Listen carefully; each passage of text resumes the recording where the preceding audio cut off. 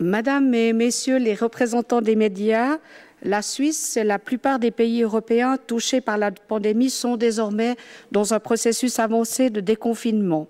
Dans notre pays, dans notre canton, la situation sanitaire s'améliore nettement. Le taux des nouveaux cas de contamination est en chute libre et les mesures prises par la Confédération et les cantons ont porté leurs fruits. Nous ne savons pas encore si ce n'est qu'une victoire d'étape, mais il est certain que c'est une victoire d'équipe.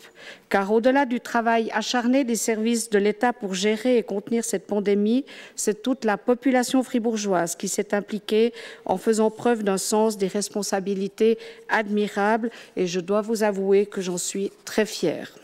Il est évident que nous devrons rester vigilants et respecter les consignes en matière de distanciation sociale tant qu'elles sont prescrites. Nous entrons dans une période plus calme, l'orage est passé, mais hélas, cet orage a fait de très sérieux dégâts. Au plan sanitaire d'abord, puisque 84 familles de notre canton ont été endeuillées. Derzeit befinden sich zwar noch etwa fünf Personen im Spital, doch neue Fälle, die Intensivpflege benötigen, sind selten geworden. Comme pour la météo, difficile toutefois de prédire ce qui se passera en été ou en automne. Nous restons donc extrêmement vigilants. Mesdames et messieurs, les dégâts de la crise du coronavirus se concentrent désormais sur notre économie, avec pour corollaire des conséquences sur la société fribourgeoise pour son ensemble.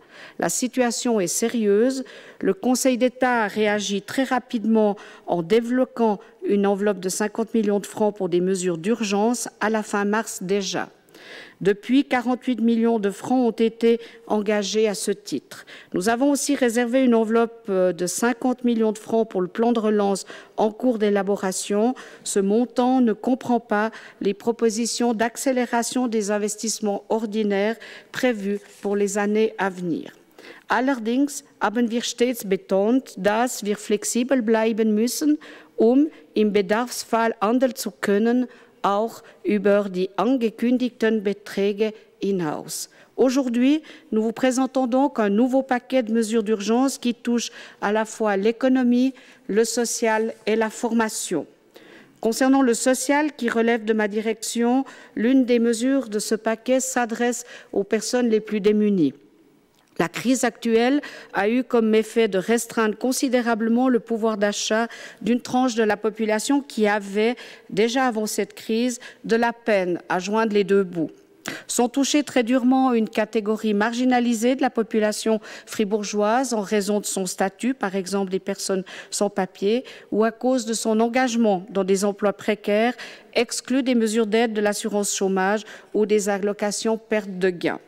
Les indicateurs révèlent que le nombre de personnes et de familles précarisées risque d'augmenter rapidement dans les semaines à venir. Nous savons, grâce à notre rapport sur la pauvreté, que 10%, soit environ 25 000 personnes, sont à risque de pauvreté dans notre canton.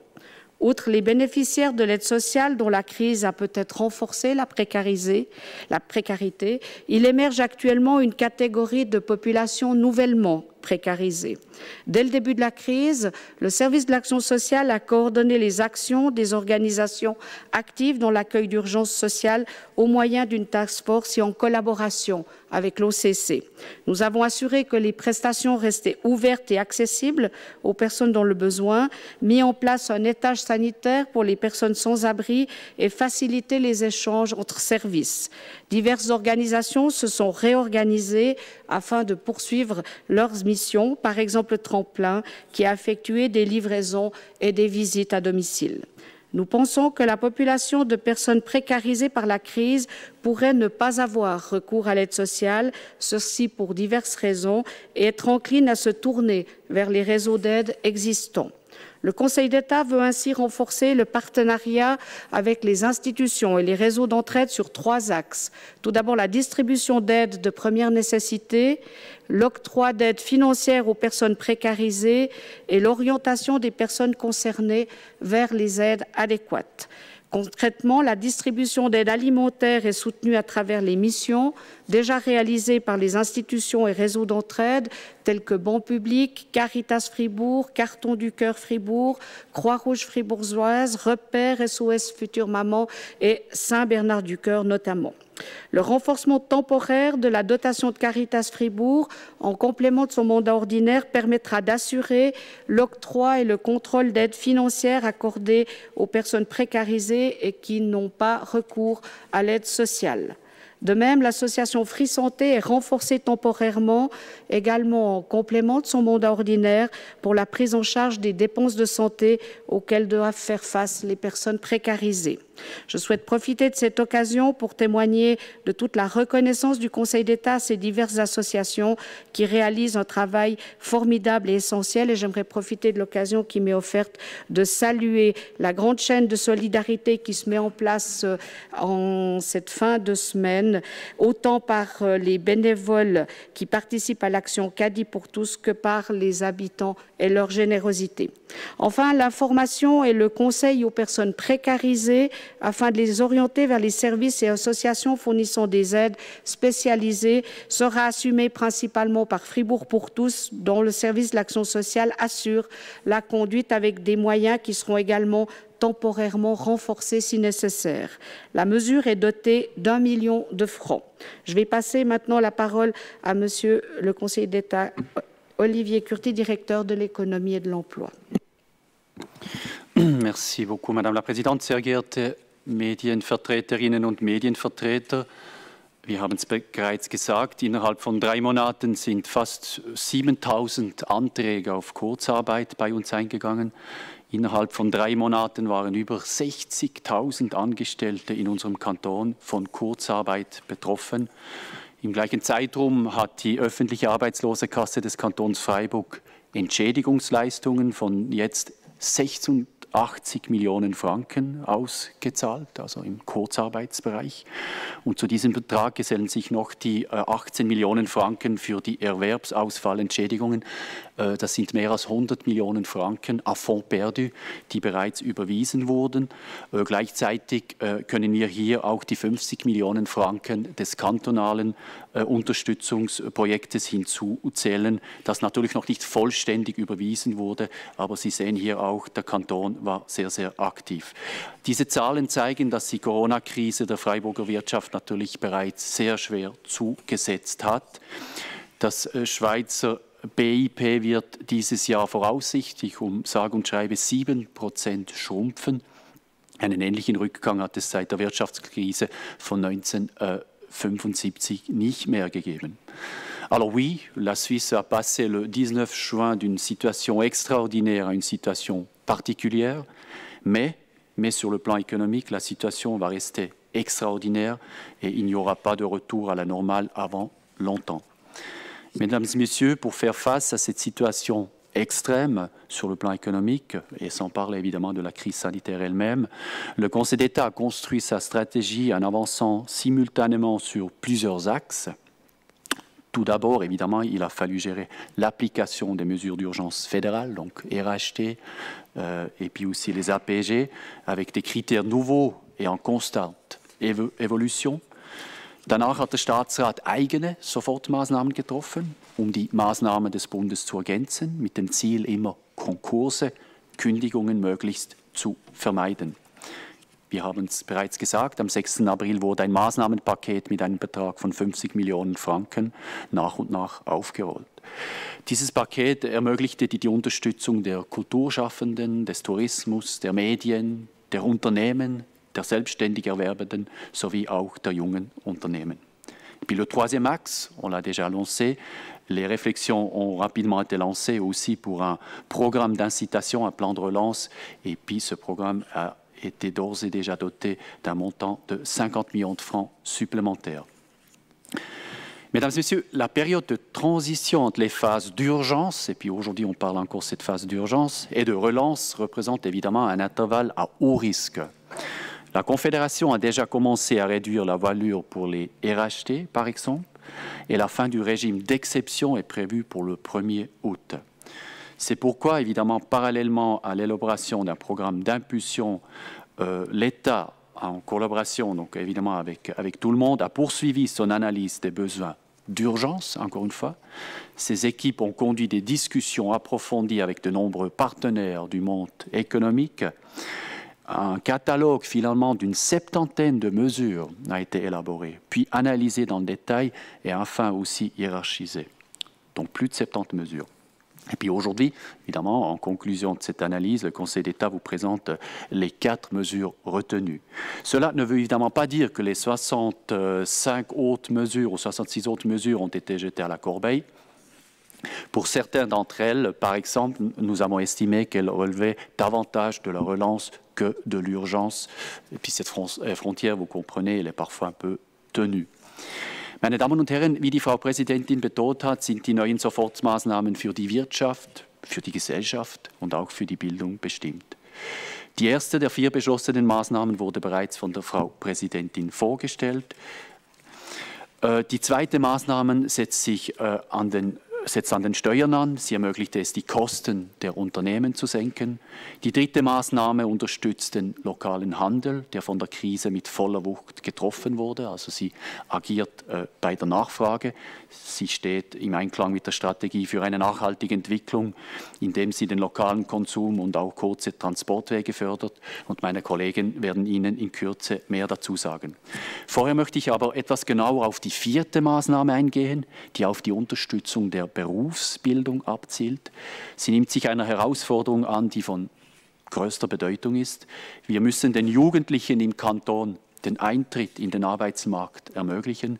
Wir müssen also dafür sorgen, dass ihnen ausreichend Lehrstellen zur Verfügung gestellt werden. À, la fin mai, par exemple, et puis on fait cet exercice deux fois par mois, euh, à la fin mai, donc, nous avons enregistré euh, 1400 contrats d'apprentissage dans ce canton. 1400. Et puis si on compare ce chiffre avec l'année 2019, on était presque à 1700 contrats d'apprentissage à la même époque. Donc en fait, on a une diminution quand même euh, relativement dramatique, une diminution d'environ 300 places d'apprentissage au même temps 2020 euh, comparé à 2019. Donc toute une série d'outils existants, notamment aussi pilotés par la Commission des jeunes en difficulté d'intégration professionnelle, vont être renforcés financièrement pour vraiment inverser cette tendance. Je pense par exemple aux mesures de préformation, au semestre de motivation, ou encore par exemple à l'action Last Minute qui permet de mettre en relation des jeunes en recherche d'apprentissage et des entreprises formatrices. Pour la transition 2, donc c'est la mesure qui vise à renforcer les chances d'insertion sur le marché du travail, donc après avoir accompli un apprentissage. À défaut, donc, il s'agira de proposer une voie d'études supérieure ou encore de réorienter les personnes vers l'acquisition de nouvelles compétences. Cette mesure sur la formation entend aussi encourager les personnes adultes sans formation professionnelle touchées par la crise à se former, en offrant ici la gratuité, cette formation scolaire hein, pour une durée euh, limitée. Les entreprises formatrices ne sont pas oubliées, bien évidemment. Le Conseil d'État a décidé d'augmenter sa participation aux frais de cours d'interentreprise d'un quart. Rappelez peut-être couplé à l'aide apportée par la réforme fiscale au même domaine, les entreprises formatrices verront ainsi passer leur participation au financement des cours entre entreprises de 75 jusqu'à présent à 45% environ. Et puis toute cette mesure-là, elle est dotée d'une enveloppe de euh, presque 2 millions de francs. Mesdames et Messieurs, le Conseil d'État est également prêt à renforcer la mesure sur les baux et les fermages euh, commerciaux en rehaussant des plafonds de prise en charge de loyers et des intérêts hypothécaires. Savoir, wir warten hier noch auf einen Entscheid auf Bundesebene ab. Sie haben es gesehen, auf Bundesebene ist zurzeit nichts entschieden bezüglich äh, äh, den Verhandlungen über eine Mietzinsreduktion für Geschäftsflächen.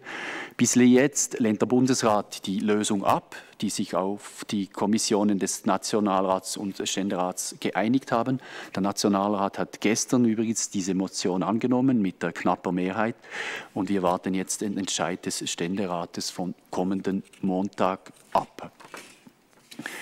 Mesdames et Messieurs, avant de passer la parole à mes collègues pour présenter donc les autres mesures décidées, je voudrais encore une fois insister sur le fait que nous sommes engagés dans un processus vraiment de longue haleine. Les prochains mois seront difficiles pour notre économie.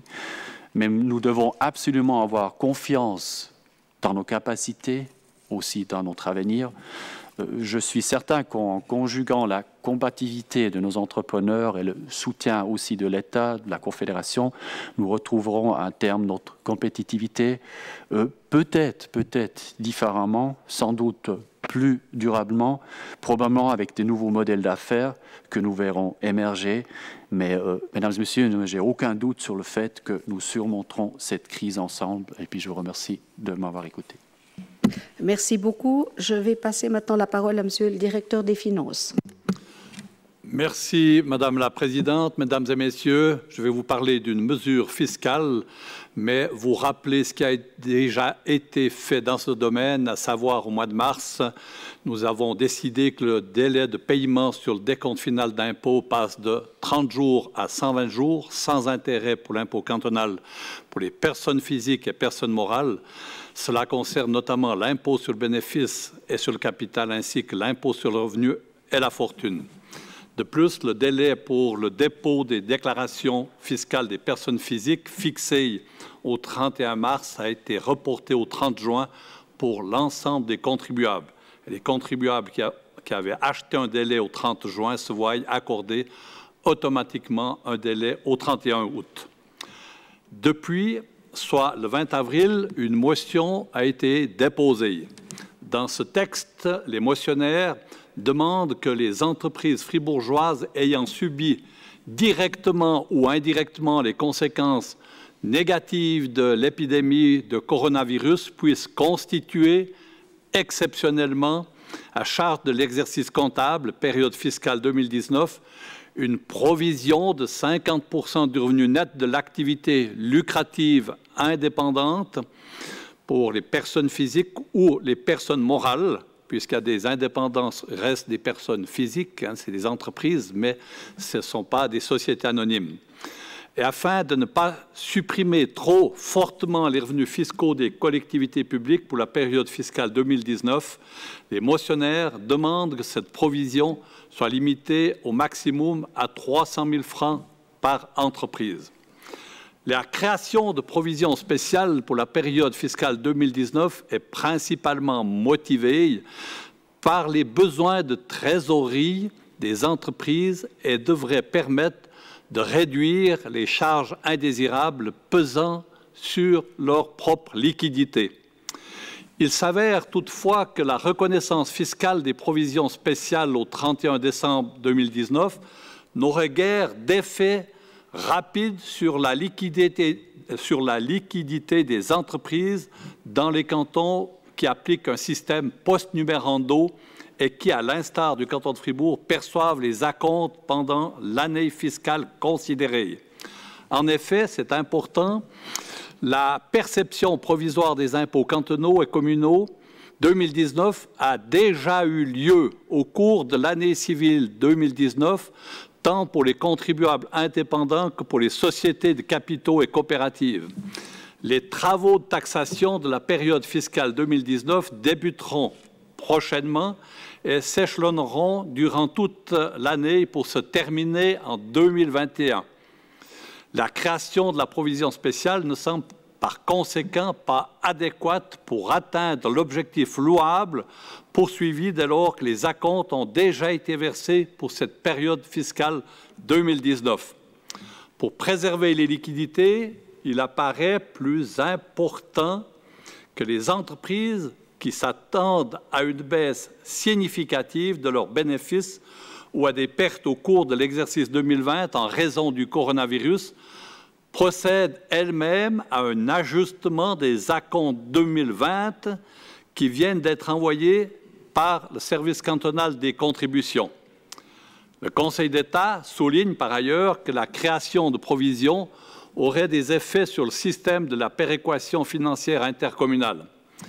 De plus, on rappelle que la réforme de l'imposition des entreprises est entrée en vigueur au 1er janvier de cette année avec la baisse de l'impôt sur le bénéfice de 8,5 à 4% Dès lors, et contrairement à ce qu'indiquent les motionnaires, l'instrument proposé, création et suppression d'approvision, ne sera pas neutre pour la période fiscale 19 et 20. En effet, les bénéfices 2019 transférés sur la période 20 ou 21 seront imposés au taux de 4% alors qu'ils auraient été imposés sur l'année 2019 à 8,5% En conclusion, le Conseil d'État invite chaque entreprise à estimer les pertes subies en raison du coronavirus et adapter, le cas échéant, les acomptes reçus au vu de la situation financière. De plus, lors de sa dernière séance de cette semaine, nous avons décidé de suspendre jusqu'au terme général d'échéance la perception des intérêts moratoires sur les acomptes 2020. Ceci afin de renforcer directement son soutien aux entreprises impactées par la crise du coronavirus. Cette mesure coûte, ou ce geste pour les entreprises, est de 2,5 millions, mais c'est un geste également des communes, puisqu'elle coûte aux communes 2 millions. Donc, c'est 4 millions et demi qui seront injectés indirectement dans l'économie de notre canton. Voilà pour les explications. J'en ai terminé. Je repasse la parole à Madame la Présidente. Merci beaucoup. Je vais maintenant passer la parole à Monsieur le directeur des institutions de l'agriculture et des forêts qui va vous présenter la mesure concernant un soutien à l'économie de proximité. Monsieur le directeur, vous avez la parole. Consommer pour relancer l'économie. Consommer local pour développer une société plus durable, une société plus résiliente le canton de Fribourg invite les fribourgeoises et fribourgeois à dépenser avec une aide substantielle de l'État. Madame la Présidente, Messieurs les conseillers d'État, Mesdames, Messieurs, commerce de détail, soins, coiffeurs, restaurants, bars, divertissement, sport, bien-être, agences de voyage. La pandémie a eu un impact très important sur les commerces et sur les prestataires de services de notre canton. Et là, d'un autre côté, rappeler la nécessité de pouvoir compter sur des commerces et des producteurs locaux. Pour des raisons sanitaires, les commerces ont été contraints de fermer leurs portes pendant de longues semaines. Dans le même temps, les producteurs et les artisans ont été privés de débouchés pour leurs produits. Cette fermeture temporaire a entraîné un manque à gagner qui pourrait être fatal à une partie de ces entreprises. Pour éviter la casse et aider ces entreprises à passer ce cap extrêmement difficile, le Conseil d'État propose aux fribourgeoises et aux fribourgeois de continuer à se montrer solidaires. Car il faut le souligner, la population fribourgeoise s'est montrée particulièrement solidaire ces dernières semaines, notamment en privilégiant les producteurs et les commerces locaux. Nous la remercions vivement et lui proposons de continuer sur cette lancée avec un soutien substantiel de l'État. Nous avons en effet décidé d'offrir à la population fribourgeoise 20% du montant de ses achats auprès des commerçants, restaurateurs, producteurs ou prestataires de services de proximité qui ont dû fermer pendant la pandémie, ainsi qu'auprès des membres de Terroir Fribourg qui soutiennent la consommation de produits locaux. Ce sont quelques 4 millions de francs qui seront injectés directement dans l'économie locale dès le 1er juillet prochain. Cet effort conséquent aura un effet de levier important puisqu'il est, à même de générer 20 millions 20 millions de commandes dans l'économie fribourgeoise et de relancer ainsi la consommation et la production locale. Il est aussi un geste bienvenu pour les consommateurs et les consommatrices qui vivent l'incertitude et les difficultés. Pour mettre en place cette mesure, nous nous sommes appuyés sur des solutions innovantes qui ont été trouvées pendant cette crise du Covid. Nous allons en effet utiliser la plateforme Soutenons les commerces locaux, mise en place par la Jeune Chambre internationale de Fribourg. Je tiens d'ailleurs ici à féliciter ses membres pour cette belle initiative. Elle a répondu à un besoin et suscite l'intérêt des fribourgeoises et des fribourgeois. Concrètement, comment cela va fonctionner? Il suffira de se rendre sur la plateforme Soutenons les commerces locaux d'ici le 31 décembre 2020 ou jusqu'à épuisement du crédit pour y acquérir un bon d'achat d'une valeur maximale de 100 francs à faire valoir sur les prestataires de proximité inscrits. 20% du montant choisi sera déduit et pris en charge par le canton jusqu'à concurrence des 4 millions annoncés. Pour développer cette offre spéciale et en assumer la gestion, nous avons confié un mandat aux fribourgeois Oliver et Eleanor Price qui ont développé la plateforme Soutien aux commerçants fribourgeois avec le succès que l'on connaît. Il faudra encore quelques semaines pour la développer. L'opération pourra démarrer vers le 1er juillet prochain. Cette action de soutien à la consommation et à la production locale s'adresse aussi aux touristes passant au moins une nuitée dans le canton jusqu'au 31 mai 2021. Ils recevront, via leur enregistrement sur la plateforme Check-in FR, un bon d'une valeur de 20 francs à faire valoir dans les commerces locaux. Depuis le début de cette crise sans précédent de mémoire d'homme, nous nous sommes tous demandé si l'après-Covid serait différent du monde de l'avant-Covid. Je n'ai pas de réponse définitive sur la question, mais je pense sincèrement qu'il ne tient qu'à nous de mettre en valeur tout ce que nous avons su faire exister de positif pendant cette période difficile. La solidarité, la générosité, le sens des responsabilités, l'imagination, la créativité, une consommation plus locale et plus durable. Autant de valeurs sur lesquelles nous voulons construire l'après-Covid avec confiance. Nous saisissons donc aujourd'hui l'opportunité, en relançant l'économie, de soutenir la consommation locale en complément aux mesures sociales et économiques présentées par mes collègues précédemment, avec l'objectif toujours de ne laisser personne au bord de la route. Merci de votre attention. Je vous rends la parole, Madame la Présidente. Merci beaucoup, Mesdames et Messieurs. Vous l'aurez compris, ce nouveau paquet de mesures euh, qui représente une enveloppe de 9,5 millions de francs supplémentaires se rajoute à notre enveloppe initiale de 50 millions pour les mesures d'urgence. Doch ich sage es noch einmal, wir haben immer betont, dass es sich um einen Richtbetrag handelt und dass es die als notwendig und als umsetzbar befundenen Maßnahmen sei werden, die den Endbetrag bestimmen würden. Le Conseil d'État reste déterminé à agir pour permettre à notre population et à notre économie de surmonter les défis extraordinaires que nous pose cette crise du coronavirus. Nous prenons et nous prendrons nos responsabilités pour soutenir les fribourgeois et les fribourgeoises qui en ont besoin. Je vous remercie de votre attention et nous pouvons passer maintenant aux questions.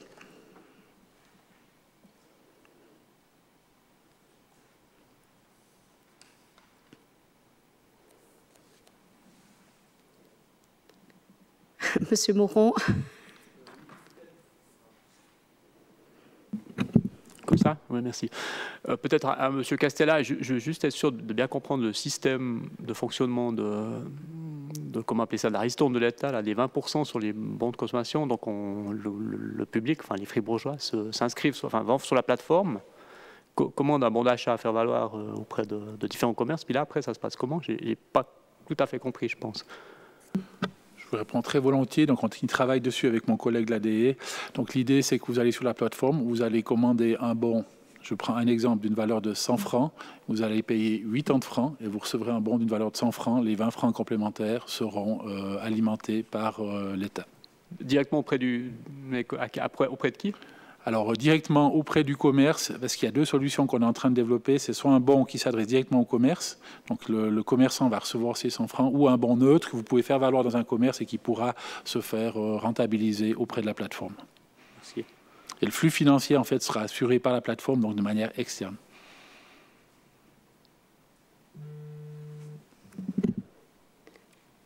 Voilà, je ne sais pas s'il y a d'autres questions. Monsieur Godel euh, Vous parlez dans le communiqué de presse, euh, hormis le plan de relance en préparation, est-ce que ça veut dire qu'il y aura des montants euh, supplémentaires et à la hauteur de ce qu'ont demandé notamment les députés dans divers objets, diverses interventions, avec autour de plusieurs centaines de millions de francs? Est-ce que ça c'est à venir? Alors, le, Conseil d'État s'est organisé pour euh, préparer un plan de relance que nous allons euh, élaborer avec les, différents partenaires. Nous avons déjà annoncé euh, une enveloppe de, 50 millions pour ce plan de relance auquel vont se rajouter les, les montants des montants qui, pour des investissements euh, qui seront accélérés par rapport aux dates dans lesquelles nous les avions euh, prévus. Je ne sais pas si quelqu'un veut compléter, Monsieur le directeur de l'économie.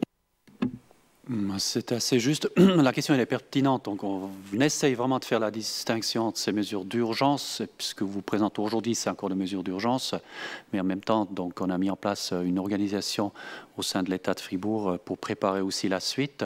Alors concrètement, ça a été déjà communiqué aussi au Grand Conseil. Le, plan de relance en soi, il s'est discuté, si tout va bien, en tout cas c'est notre objectif, en session d'octobre du Grand Conseil. Donc, voilà, vous, comprenez, c'est un programme un peu à moyen terme. Euh, et puis voilà, le premier montant qui était donc euh, mis en avant, c'est ces 50 millions, mais euh, on l'a déjà dit aussi, quoi, avec, avec une certaine flexibilité. Donc ce qui nous intéresse vraiment, c'est les mesures derrière et puis pas nécessairement en fait les, montants. Mais encore une fois, on y travaille déjà. Mais là, encore une fois, aujourd'hui, c'est important de vous présenter encore une fois ces mesures d'urgence qu'il faut mettre en place maintenant, tout de suite. Hein. c'est pour vraiment de donner le coup, coup, de, coup de main nécessaire à notre économie dans plusieurs domaines, quitte pour, pour éviter encore une fois les faillites, pour éviter aussi les, licenciements. Oui, Monsieur Mühlhauser. Encore une question à Monsieur Castella. Euh, pour ce, soutien aux commerçants locaux, ça veut dire qu'il faut être sur, cette plateforme pour profiter. Si je regarde la Saint-Gine, il y a 50 commerçants qui sont seulement dessus sur 1000. Est-ce que vous ne créez pas une inégalité non? Donc ici, nous avons ciblé deux, groupes de commerçants, ceux qui ont dû fermer euh, durant cette période, très clairement. Ce n'est pas tous les commerces du, canton, parce qu'on a vraiment voulu cibler ceux dans le besoin et ceux qui nous permettaient d'encourager la consommation locale, donc les membres de Terroir Fribourg.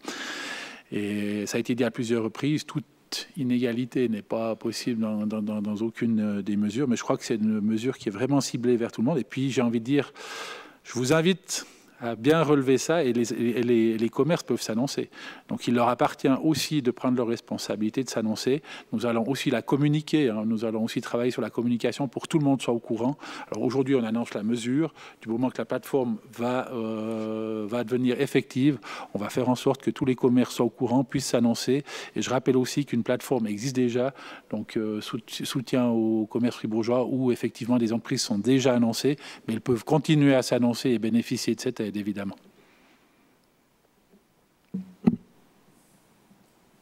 Merci. Est-ce qu'il y a d'autres questions Oui, Monsieur Edny. Eine Frage betreffend der Berufsbildung.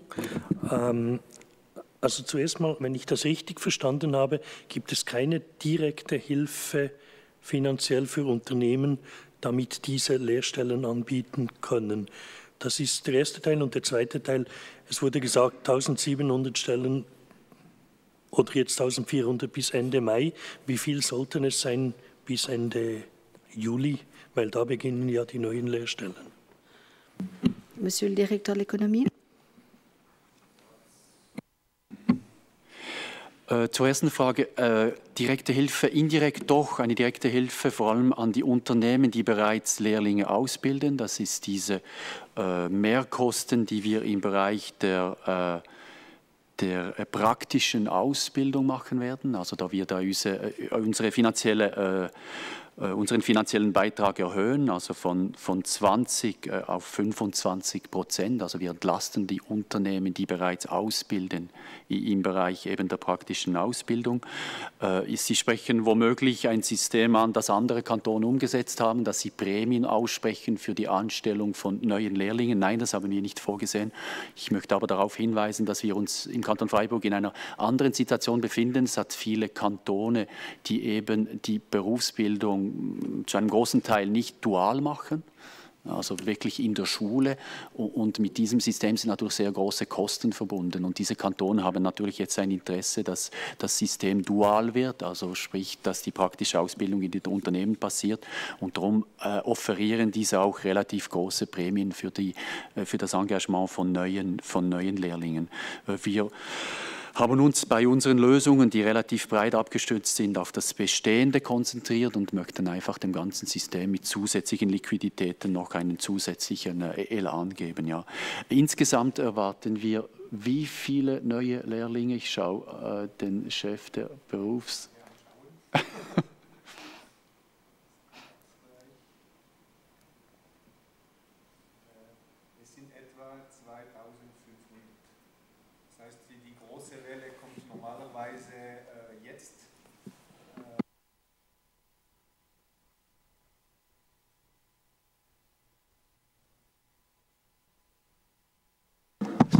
Also wir warten bis 2500 normalerweise Lehrverträge. Äh, wir haben immer äh, im Kanton Freiburg eine erste Welle, die gerade jetzt ist, äh, jetzt passiert. Und darum haben wir eine gewisse Verspätung. Und die zweite Welle kommt normalerweise im Juli. Es ist wirklich unterschiedlich mit den deutschsprachigen Kantonen, die normalerweise schon mit diesen beiden Wellen schon fertig sind. Merci. Est-ce qu'il y a d'autres questions Qui puis-je lui donner la parole? Oui, Monsieur Moron. Pardon. J'aurais une question sur euh, une mesure qui avait été annoncée précédemment, euh, pour faire un petit bilan, c'est celle qui concerne les baux commerciaux. J'avais vu que c'était parti assez doucement dans les, demandes. Or, actuellement, il y a, si ma mémoire est bonne, 20 millions maintenant qui est prévu avec le renforcement pour les propriétaires. Où on en est dans cette... Dans les, dans les demandes Est-ce qu'il y a plus de demandes ou comment, comment ça se passe? Est-ce que l'enveloppe sera utilisée ou pas? Pleinement Oui, alors les derniers chiffres, c'est 1100 demandes. Et puis c'est en progression parce que la mesure n'était pas encore très connue, on le constate. Et puis, euh, bah, encore une fois, c'est une mesure qui, qui, a pas mal de succès. Et puis voilà, on verra la suite. Elle est valable jusqu'à euh, fin juin. Monsieur Godel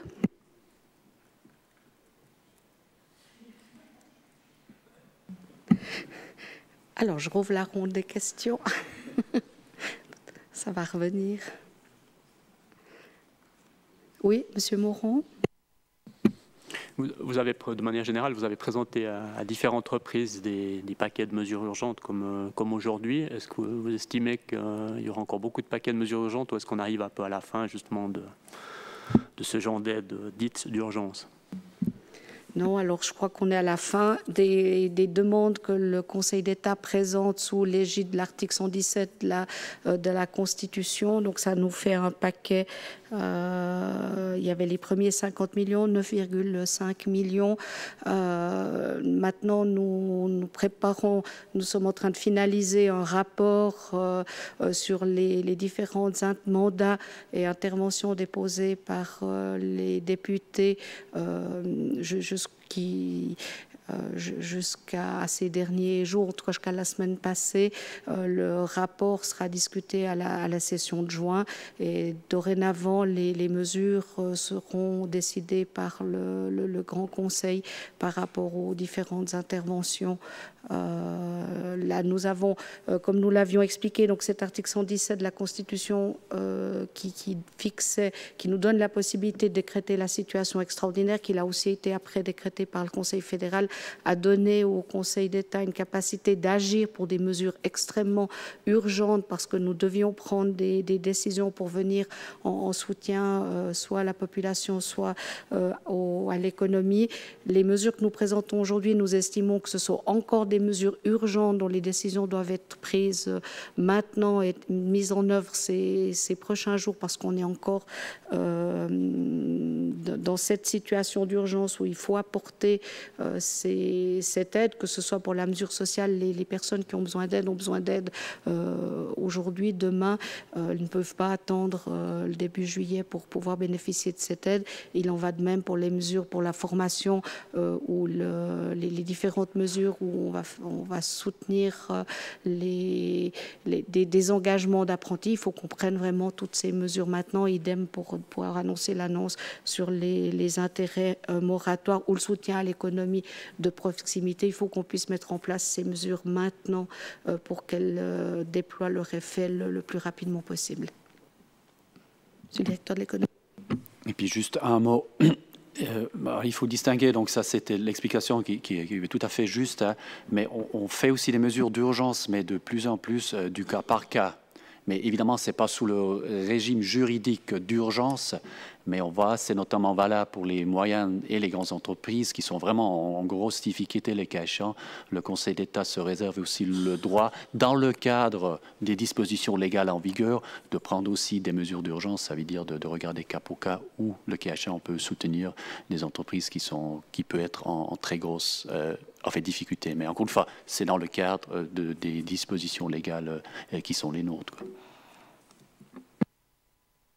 Peut-être juste en complément encore, évidemment, d'autres mesures euh, feront partie du, plan de relance, mais là, comme nous l'avons dit, il sera discuté avec les partenaires sociaux et le plan de relance sera discuté, fera l'objet d'un décret, sera discuté au Grand Conseil au mois d'octobre, nous, l'espérons, en fonction du calendrier que, nous avons déterminé. Tout l'enjeu, c'était de faire euh, le, poids entre ce qui était encore mesure d'urgence qu'il fallait absolument pouvoir déployer euh, très rapidement et celles qui peuvent attendre le, plan de relance relance. Juste une, oui, une compréhension par rapport à ce que vous avez dit avant. vous allez rédiger un rapport donc, sur les mesures d'urgence, de façon à ce qu'après le, Grand Conseil puisse en prendre acte, c'est ça? Alors ça, c'est effectivement, on va aussi faire ça, mais ce sera dans un, dans, un deuxième temps. Euh, ce que nous sommes en train de rédiger, c'est un rapport sur l'ensemble des interventions parlementaires qui ont été déposées. Euh, tous les mandats euh, qui ont été déposés, qui réclamaient d'autres mesures urgentes. Donc nous avons fait un rapport sur l'ensemble de ces interventions parlementaires avec les réponses du Conseil d'État à ces interventions. C'était notamment les interventions concernées par la question de savoir si les députés déposaient des mandats d'urgence à, la session de mai ou pas. Les mandats d'urgence ont été euh, retirés puisque le Conseil d'État s'est engagé à venir avec une réponse à tous ces mandats à la session du mois de juin. Monsieur Doucas euh, vous lancez un appel à, dépenser, euh, ce qui est assez, assez euh, original. Vous avez l'impression que les fribourgeois sont particulièrement parcimonieux actuellement? Eh ils n'ont malheureusement pas forcément eu le choix. Vous le savez, euh, des ménages, évidemment, ont, souffert parce qu'ils étaient en RHT pendant l'entier de leur salaire, mais d'autres ont, touché le 100% de leur salaire, mais n'ont plus pu aller euh, soit aller faire du shopping, acheter des habits, n'ont pas pu non plus aller au restaurant euh, consommer. Donc, on sait aussi que dans une partie des ménages, il y a des réserves qui ont été faites. Et là, après, derrière cette idée de dépenser, c'est aussi, je l'ai bien dit, dépenser plus local, ce qui permet d'avoir une société qu'on veut, qu'on souhaite plus durable et plus résiliente face à de telles, euh, face à de telles euh, crises. Mais effectivement, relancer la consommation passe par plus de dépenses.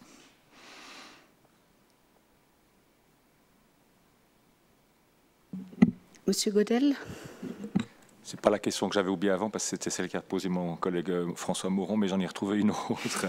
Monsieur Cassella, vous, vous parliez avant de, euh, de votre souhait euh, d'une société résiliente qui euh, apprenne la leçon. Est-ce qu'aujourd'hui, le Conseil d'État, il faut comprendre qu'il s'engage à tirer la leçon de ce qui s'est passé et à aller vers une autre forme d'activité de la société, en quelque sorte? On l'a dit à plusieurs reprises, l'après-Covid sera pas forcément différent de l'avant-Covid. Moi, en tout cas, c'est mon souhait, je crois que c'est le souhait partagé du Conseil d'État. Il y a différentes choses qu'on doit revoir, on doit apprendre aussi de cette crise. Et puis, il y a certaines euh, bonnes surprises qu'on a eues pendant cette, euh, crise, notamment l'attention euh, plus importante à la consommation locale, à nos producteurs locaux. Et ça, on, souhaite l'encourager. Et donc, on saisit cette opportunité pour essayer de, de faire durer les aspects puisque on a eu suffisamment d'aspects négatifs. Si on a quelques-uns de positifs, eh bien, essayons de les mettre en valeur et de les faire durer. Peut-être en complément rajouter, ça ne fait évidemment que confirmer l'engagement euh, que le Conseil d'État entend prendre dans le développement du plan climat et du plan du, développement durable. Monsieur Moron euh, Oui, encore une question. Donc euh, aujourd'hui, avec ce nouveau paquet de 9 millions et demi, on a grosso modo 60 millions de francs qui sont destinés à ces mesures d'urgence euh, que vous avez décidées. Euh, double question qui est un peu la même, mais est-ce que vous pensez que l'entier de ce montant va être utilisé? Et puis si ça ne devait pas être le cas, qu'est-ce qui se passera avec le, montant qui reste? Monsieur le directeur des finances, si vous avez une réponse.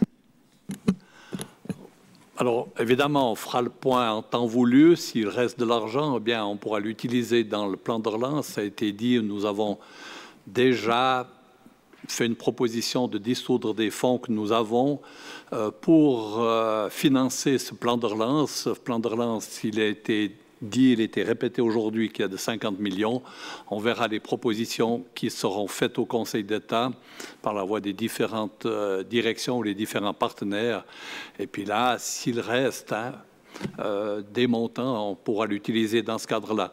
Puis puisque j'ai la parole aussi pour compléter les réponses qui ont été données, notamment par euh, la remarque ou la question de M. Doukas euh, par rapport à la confiance, par rapport à ce que les fribourgeoises et les fribourgeois dépensent, c'est toute la problématique euh, ou l'art du gouvernement de créer la confiance. Et puis la création de cette confiance, elle passe par les mesures que nous sommes en train de prendre, mais aussi de pouvoir assumer ce qui a été promis et décidé déjà par le Grand Conseil d'assumer les baisses fiscales pour l'ensemble des contribuables fribourgeois, des baisses qui avaient été annoncées euh, suite à différentes motions et propositions du Conseil d'État.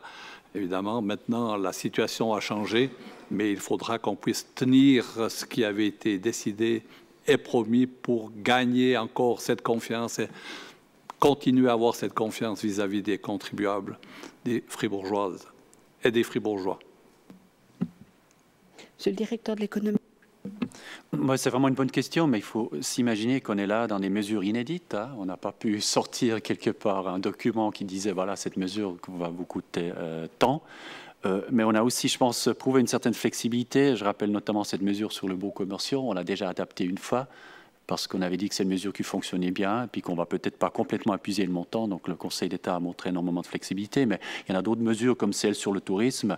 On a mis à disposition 6 euh, millions, il y en a déjà 4,5 millions qui sont engagés. Donc, voilà, il y a vraiment des, mesures, on va complètement utiliser l'argent à disposition. Et puis pour les autres mesures, en fait, on, va faire de, sorte que ça bénéficie vraiment à notre, économie. Mais ce n'est pas une science exacte. Hein. donc les calculs qu'on a dû faire en très très peu de temps, euh, ce n'était pas évident de les faire.